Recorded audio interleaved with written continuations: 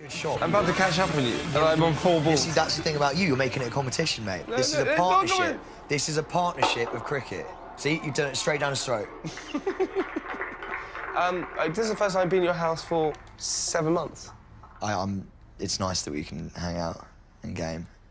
It's the best. It's good to see you're still shit at gaming. Let's take a picture and send it to Baron. No.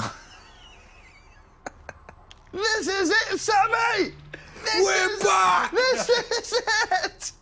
Do you remember? Do you, do you remember when you got hit in the side by a golf ball?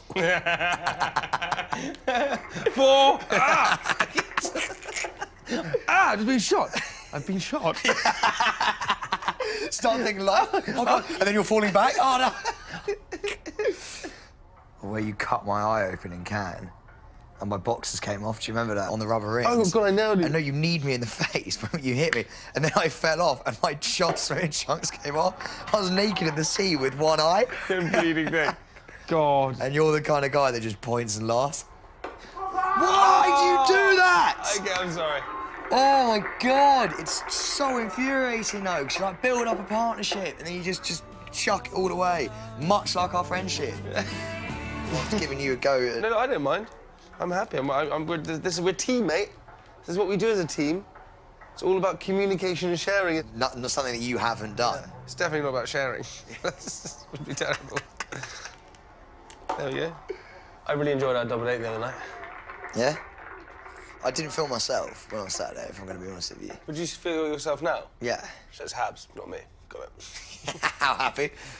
Like, I've been arguing with you for about however long, right? Yeah. and over the way that you handled something with a girl who's sitting on my right.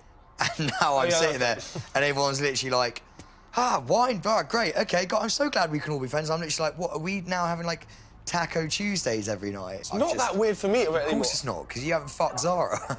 Oh, yeah, yeah, that's true. That was quite, that was quite intense, that. What was that Really shot? bad shot, I don't know. How are you and Zara? Yeah, mate, I still can't believe we're together. Really? yeah. Like, with all my other relationships, they would come at the end of the day, we'd sit on the sofa and we'd eat food and watch TV. Habbs and I, we'd sit and eat food at the table and talk with candles on and music. I mean, What? yeah, yeah. Would you, are you to move in? No. I say that, so yeah.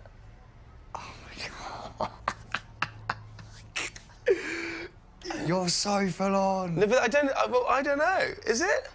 If God feels weird even saying it, but like, I'm glad that you and Habbs are like legit.